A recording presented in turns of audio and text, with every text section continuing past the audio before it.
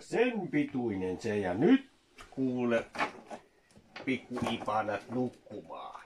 Hyvää yötä. Hyvää yötä.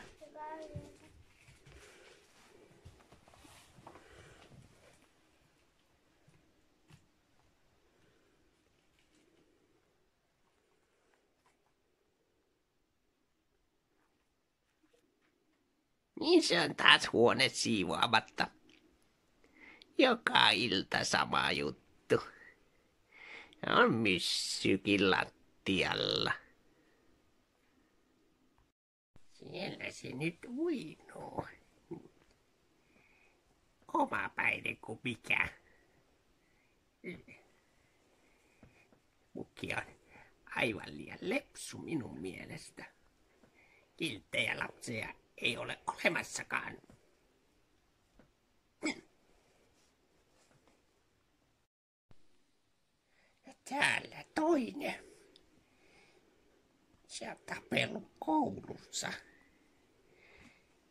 Kyllä kun minä saisin vaan päättää näistä lahjoista, niin ei saisi kukaan mitään. Ei isi äitikään. Ei, eikä tämä myssyn kanssa edes näe mitään. No jaa, on kai näistä sotkuista vähän hyötyäkin.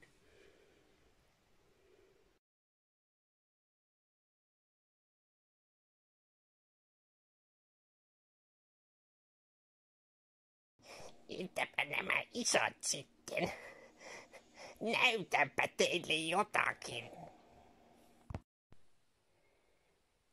Vanhemmat kinuttavat virkaveljeäni. Katsokaa nyt.